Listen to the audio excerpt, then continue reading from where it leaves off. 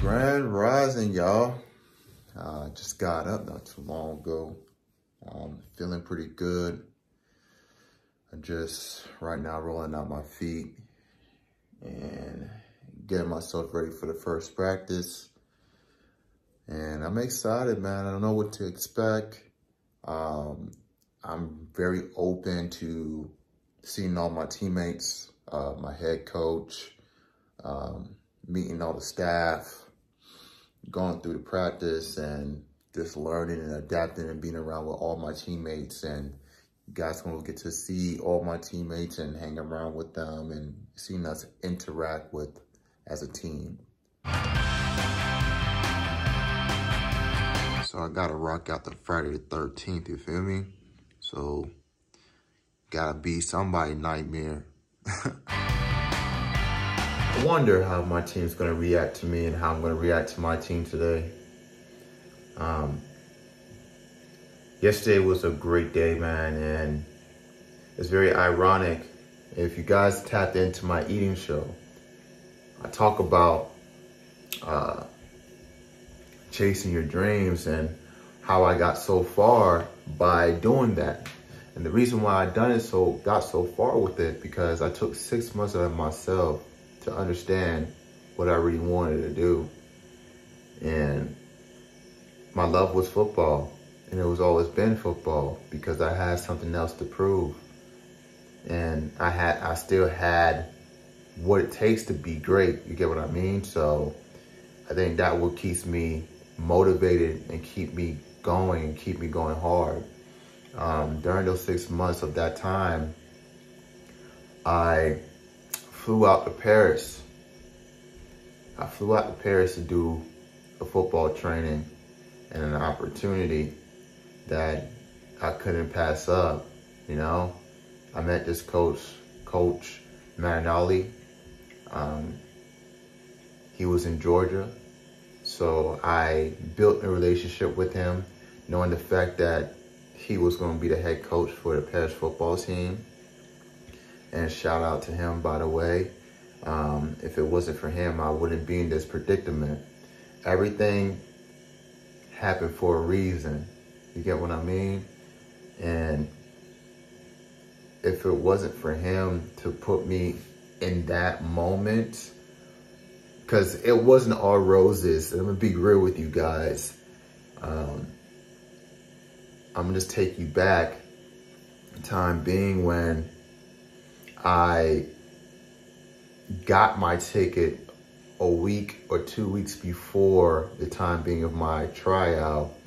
And two days before, he called me and he literally told me, hey, I'm like terribly sorry for wasting your time and um, I don't want you to come out here and not get a fair shot and get signed.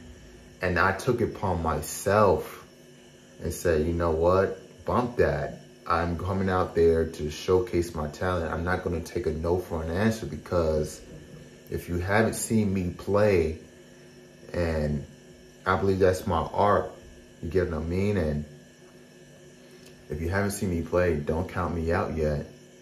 So when I got there, it was a 10 hour flight.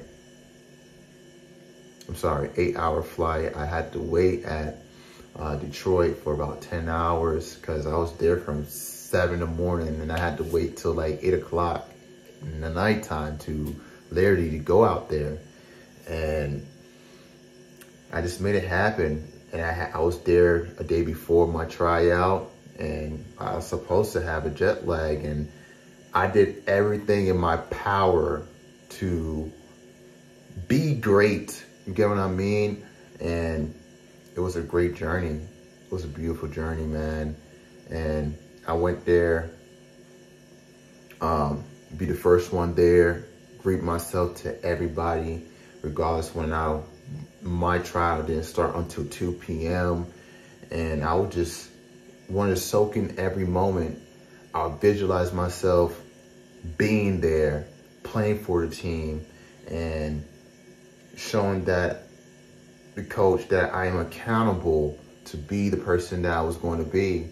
and he could I could be a leader for that team. Long story short, um, I told him I wanted to do two tryouts. So my primary my primary uh, position was running back, and I was transitioned to be a receiver. And I dominate both tryouts, and unfortunately, he couldn't take me because he already had signed two Americans, and that's the rules when you're playing overseas. You know what I mean? So um, during that time, um, I did really well. Me and him had a heart to heart. I left everything on the field, y'all literally left everything on the field. And he's like, um, you coming out here show me who you really are as a character. And it's really a humbling experience because I couldn't even imagine myself doing something like that. And I just took a leap of faith of going out there and doing what I wanted to do and I do what I love to do. So I just want to let you guys know that whatever you want to do in life, it doesn't matter how long it takes you. It doesn't matter of the age. As long as you get there, just pace yourself and you will always win. The tea got me clean. Yes, sir. I love it. I love it. A little mini breakfast right now for myself. Um, something light I can take. I don't want to say take, but eat something really nice and light and I can just have something for the field, uh, fuel for the field so I can have some great energies and it ain't gonna be nothing too crazy, y'all. So I'm gonna show y'all very soon when I prepare. Definitely, if you haven't taken a look at my eating show, go ahead and subscribe to that bad boy. I just destroy these bloody oranges. Um, we will definitely chop it up talk about my experience in the out of the country and also talk about what's going on with my life. I am getting ready to go to training. My teammate's about 10 minutes away right now. I'm about to go ahead and put on my shirt, my hoodie, and it's pretty damn cold. So I am not trying to be cold. You dig. Um, yeah, I'm gonna make sure I got everything ready. Uh, I have my new cleats for my, my teammate too as well that I want to go give to them. And also I want to literally have my cleats that I want to break in and have my practice cleats as well. So I can't wait, y'all. I'm excited and I'm ready to lock and load and do my damn thing. You feel me? Y'all wish me luck. I'm heading downstairs to meet with my teammates right now and get ready for training.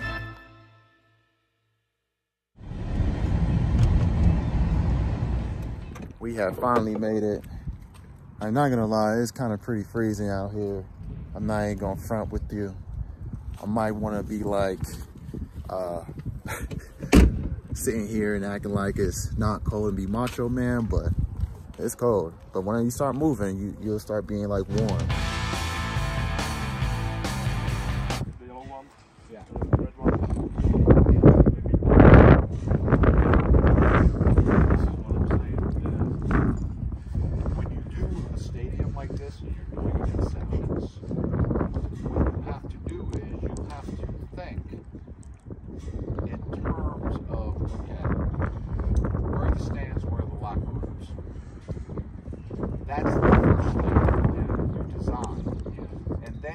Design everything around stands and locker room. Because that yellow from this side, right? So it doesn't matter if you come this side or that side for the big field for locker rooms. Right? But you have going into sections. Now, okay, this is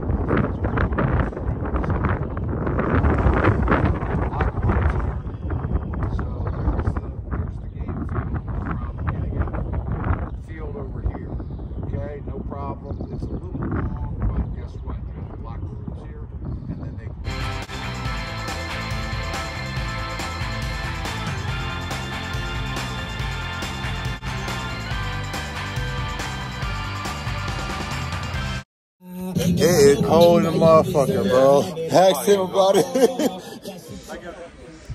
Get Everybody in it.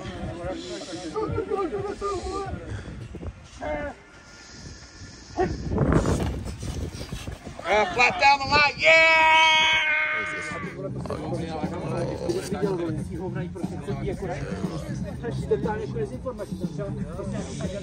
First training was great. It was hella cold, man. So it was like kind of like snowing a little bit, but it's it was a good practice. This is what we're talking about. We finished the day strong. And not only I see so much great talent in Czech Republic, man, I, I was impressed, very impressed what I see at training today. Um, today was a great day. It was a great day for me and my team and the coaches. And I, I'm just proud to say that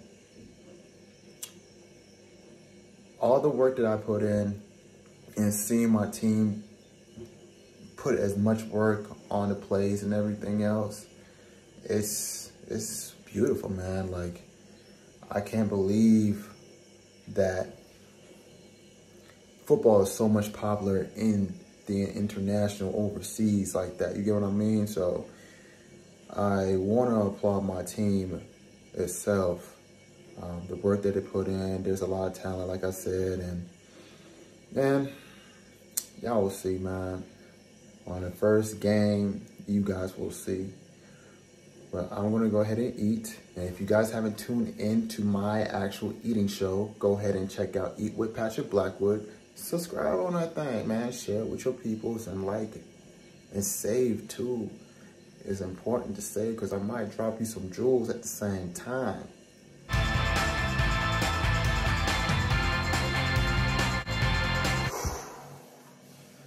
That thing with pressure. I needed that, y'all. But I want to say thank you guys for subscribing to my channel. And if you haven't subscribed, go ahead and subscribe, man. Um, like I said, you guys will travel the world with me, with me and my teammates and my coaches.